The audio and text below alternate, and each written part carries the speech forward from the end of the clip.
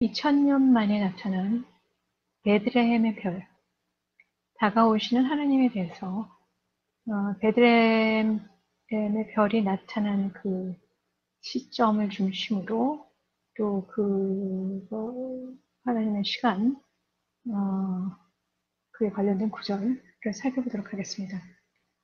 지금 세계가 어, 경제적인 그 흔들림과 또 어, 최근 서구에서는 잘 발표를 하지 않고 있는 뉴스지만은 어, 푸틴이 지금 뭐 3차 대전 네, 얘기할 정도의 아주 급박한 어,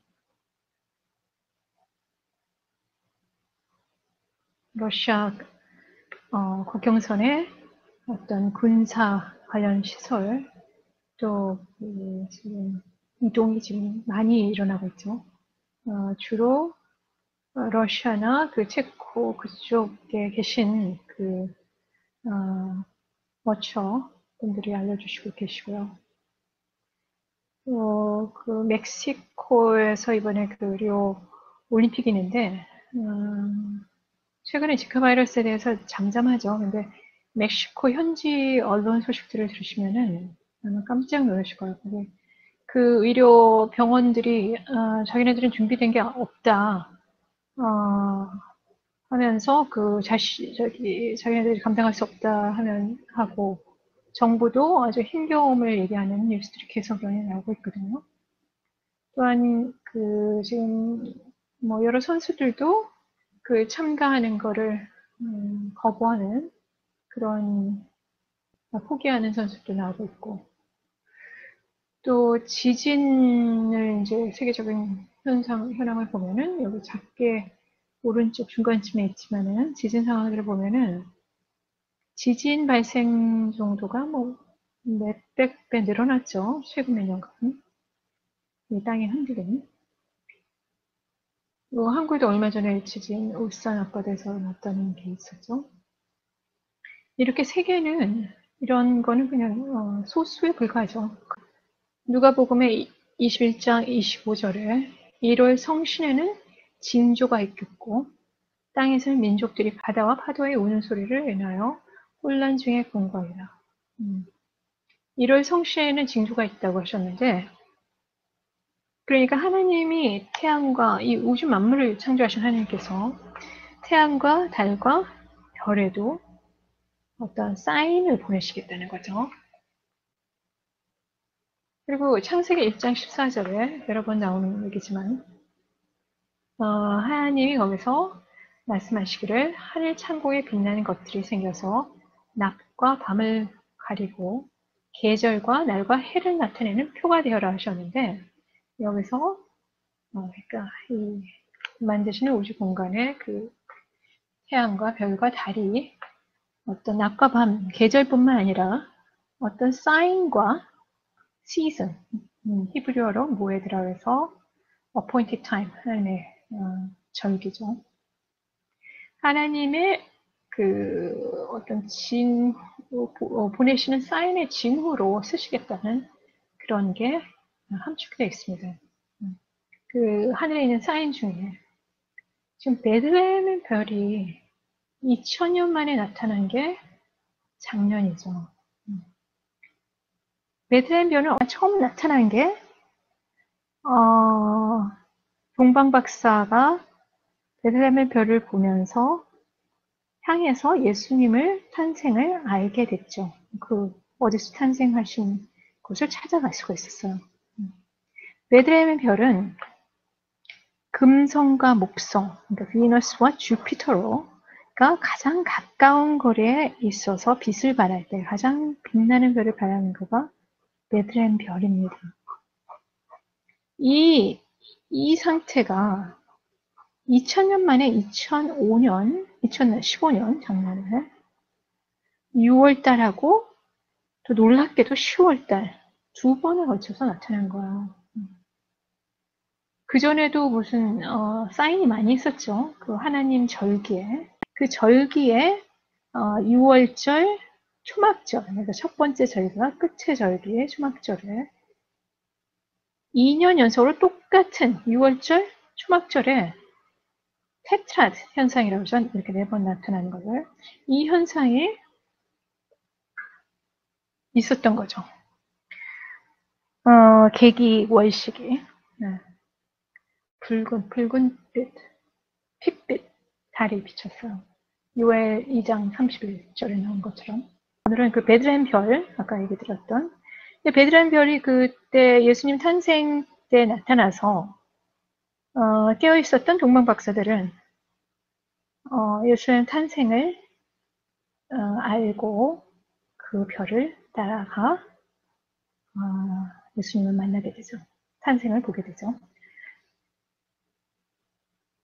그래서 그때 나타난 이후에 2015년에 나타났는데 예수 어, 예슈아와 관련된 거죠. 이 베들레헴 별이라는 것은. 그래서 이 베들레헴 별이 지금 어, 2015년 작년에 나타났고 우리가 지금 오늘 어, 2016년 지금 7월이죠. 7월 10 한국은 12일이죠. 어, 이때쯤 와 있는데 놀랍게도 어, 여기가 사자 자리고요. 오른쪽 여기가 여기 밑에는 처녀 자리인데 이 선상에 그대로 내려오고 있어요. 그러니까 처음 나타날 거는 리오 사자 자리에 처음 등장해서 두 번째는 사자 다리 뒤에 다리 가까이 갔을 때 쉬울 때 나타났어요. 올해 다 지금 이루어지고 있어요. 그리고 어, 이 베들렘 별이 이제 금성과 목성, 비너스와 주피터가로 이루어졌다 했죠. 여기서 이제 비너스에서 이제 분리돼서 어, 주피터, 목성, king planet이라고 하죠. 하나님의 음, 상징적인 king 어, planet이 이 유다 어, 지파의 상징이기도 한 이 사자 자리의 발을 떠나는 시점에 지금 있고 계속 이 선상에서 이 목성이 king plan planet이 밑으로 내려와서 쭉 내려와서 내년 2017년 어, 가을 9월 23일 경우 93일이죠. 9월 23일에 여기 요한계시록 12장 1절에서 2절에 해당되는 어, 구절이죠. 그 사인이 나타납니다. 이렇게 베드레헴의 별이 유다를 상징하는 어, 사자 자리에 나타나는데 유다 지파, 유다 지파를 상징. 유다 지파는 어떤 지파인가요? 유다 지파, 그러니까 이스라엘이 어, 이스라엘이라는 말이 처음 어, 등장한 게 창세기죠. 야곱이 이름이 이스라엘로 바뀌니까 그러면서 열두 지파가 있죠. 열두 아들 지파가 있습니다. 열두 지파가 있으면서 그 중 한 지파인 유다, 유다 지파를 통해서 예수아가 탄생하시죠. 그 유다, 상당히 중요한 거죠. 음. 유다 지파의 아, 상징인 이 사자 자리가 예, 아, 베드레헴 별이 처음 이 진입을 하면서 두 번째 이렇게 2000년 만에 나타난 별이 이렇게 두 번 이렇게 사자 자리에 나타났어요. 그래서 지금 이게 비너스, 비너스는 모닝스타라고 해서 아침에 별 이렇게 음, 요한계시록에 나오죠. 이렇게 그 분리되면서 주피터가 목성이 발을 벗어나서 밑으로 계속하는 게한 라인을 통해서 이렇게 간다는 거죠. 근데 너무 엄청난 일은 이 지금 2015년에 난 이 별자리의 이것이 언제 또 나타나냐? 딱 7년 후에 나타나요. 또 베드레헴 별이. 7이라는 숫자는 성경에서 되게 중요한 숫자죠. 2023년. 그러면 이 지금 나타나고 있는 베들레헴 별, 2015년에 6월에 나타나서 지금 여기 2015년 10월로 여기 왔고요. 그 다음에 올해 2016년 7월 13, 14일 예루살렘 시간으로 시간으로 이제 발을 벗어나는 때에 있는데 이것이 그 창세기 49장 창세기 49장 10절을 보면은 어, 한국어로는 이 원래 원 킹자임스 바이블 버전 영어로 되어 있는 거 그대로 해석이 되어 있지 않더라고요. 음. 네, 그, 어, 거를 이제 그 구절을 살펴보면은 여기 이렇게 되어 있죠. 임금의 지휘봉이 유다를 떠나지 않고 The scepter shall not depart from Judah. 거기는 맞아요. 그 다음에 어, 임금이라는 건 없지만 하여튼 어, 왕의 지휘봉이라는 상징적인 거죠. nor a lawgiver. 그러니까 lawgiver. 어, law는 항상 토라의 의미를 갖고 있죠. 하나님의 어, 말씀들. lawgiver, nor lawgiver from between his feet. 어, 통치자의 지휘봉이 자손 만들까지 이룰 것이다 라고 되는데 어, 유다의 유다를 떠나지 않고 그리고 안티어 실로감 실로가 오시기 전까지 실로가 여기 왔네요. 실로가 오시기 전까지 and unto him shall the gathering of the people 그리고 그리고가 없는데 어, 실로가 오신 다음에 오시, 오시고 그리고 unto him 그의 앞에 shall the gathering of people 그의 사람들이 모일 거다라고 얘기하셨는데 그러면 he, unto him shall the gathering of his people 그러니까 the scepter shall not depart from Judah nor lawgiver from between his feet 그러니까 발 사이에서 떠나지 않을 거라고 그러셨죠? 안티어 실로가 오시기 전까지는 발 사이로 떠나지 않겠다고 하셨는데 만약에 이 구절이 뭐 예전에 어, 다 이루어진 거라고 얘기하는 경우도 있죠. 근데 하나님의 그 어, 때, 말씀 중에는 이렇게 반복할 때가 있죠. 이루어지는 게. 예를 들어서 초막절에 예수와께서 오셨죠. 그런데 다시 어, 천년왕국 때 이 발을 디디실 때는 또 초막 절이라는 상징이 같이 함께 오시는 그런 때로 또 다시 어, 이루어지는 거니까. 지금 유다로부터 실로가 어, 이 목성이 주피터가 그 예슈아를 상징한다고 그랬죠? 킹 플래닛이니까. 이게 이제 발을 아까 발, 휘트에서 떠난 하기 전까지라고 얘기했는데 이게 떠나는 때가 지금 며칠 후에 떠나요. 근데 그때 gathering of his people 그, 그 사람들을 모으신다고 하셨는데 아, 이 모음이 어떤 걸까요? 환난기가 일어나기 전에 데살로니아 전서 데살로니아 전서 4장을 보시면은 죽은 예수 안에서 죽은 자들이 먼저 부활을 하고 그 다음에 살아있는 자들이 우리가 육신이 어, 영원한 영적인 몸으로 바뀌는 구절이죠. 사장에 그것이 모이, 모이는 거죠. 하느님 앞에. 그러면 과연 그 구절이 이거하고 관계 있느냐? 관계 있을 수 있죠. 음.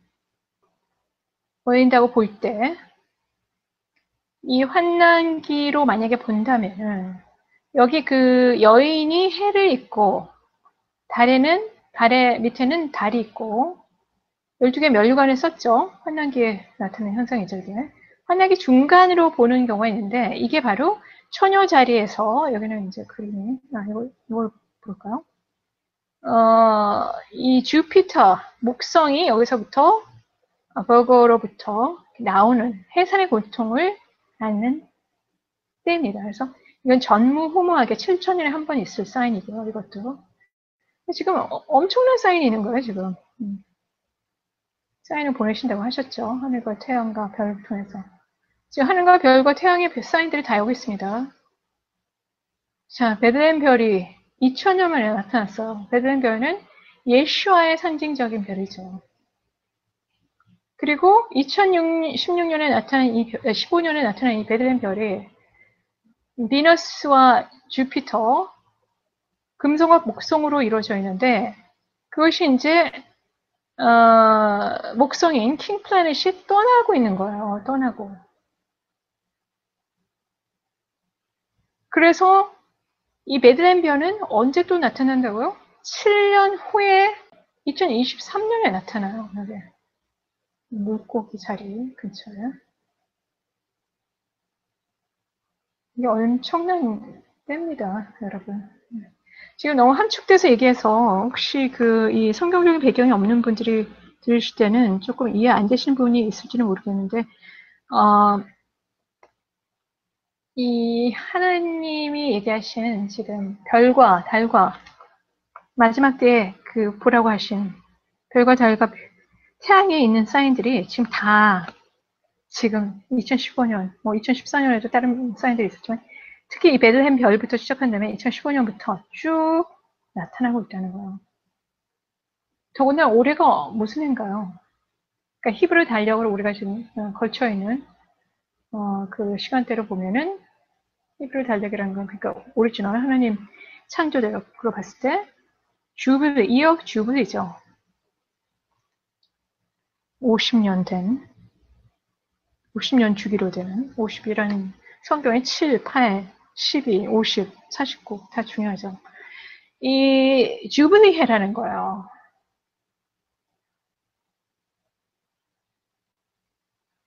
이렇게 중요한 때 어, 우리가 살고 있고요. 그리고 유다가 지파 그 이제 예수아가 오신 그 지파죠. 아, 그 지파에 관련된 그 구절 중에 요한계시 5장 5절에 뭐가 있나?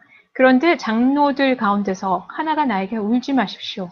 유다 지파에서 난 사자 곧 다윗의 뿌리가 승리하였으니 그가 이 일곱 봉인을 떼고 이 두루마리를 펼 수 있습니다 하고 말하였습니다. 이제 인의 심판이 시작된다는 거죠. 그렇죠? 이제 인을 떼시는 거니까 요한계시록에 있는 인의 인은 엄청난 일들이 시작되는 거죠. 근데 그건 시작도 아니에요. 왜냐면 이 지구의 흔들림이 엄청나게 일어나실 겁니다. 나팔 심판부터 해서 어, 보일 심판. 이 인의 심판만 해도 벌써 4분의 1 인구가 죽게 되고 어, 대지진이 일어나고 어, 별이 떨어지고 뭐 그런 것도 다 있죠. 기근, 아, 경제 공황 예, 어, 일어날 거고 어, 적그리스도가 나타나고 어, 그리고 어떻게 되나요? 요한계시록 12장, 아, 13장에는 또 666, 그 오른손과 이마에 666을 통해서 그게 없으면은 사고 팔고를 못하겠다는 거죠. 못하게 되죠. 그러니까 음, 적글소가 나타나서 경제 공황이 되면은 이런 어떤 마이크로칩을 해서 강제로 어, 칩을 받게 해서 사고 파, 그게 없으면 사고 팔지 못하게 하는 어떤 그 시스템을 가려고 하겠죠. 아무튼 이렇게 엄청난 때에 살고 있는데 이거를 다 피할 수 있도록 너희는 깨어 기도하라고 하셨죠. 그 피하고 뭐 관련된 거는 그 전 비도에 있죠. 만든 거에. 어. 음, 그래서 하나님은 준비된 자들을 먼저 데려가시러 오십니다.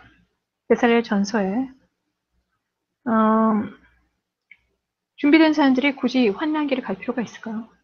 환난기가 있는 이유가 뭔가요? 환난기는 이스라엘, 아직 깨어있지 않는 이스라엘, 메시아를 받아들이지 않는 메시아를 받아들이지 않는 이스라엘라이트과 이방인 중에 아직 클린싱이 아직 예수와의 신부로서 돼 있지 않는 사람들이 가는 게 깨어있지 않는 교회들이 가는 게 환난기죠. 그 구절들은 다 어, 이미 성경에 나와 있고 지난 비디오에서 말씀드렸고요. 그래서 어, 이 엄청난 이 시간대에 아, 여러분 지금 어느 어떤 준비를 하고 계시나요? 이 음, 마태복음 25장 1절에서 13절에 다 읽어보시고요. 음, 비유로 말씀하셨죠.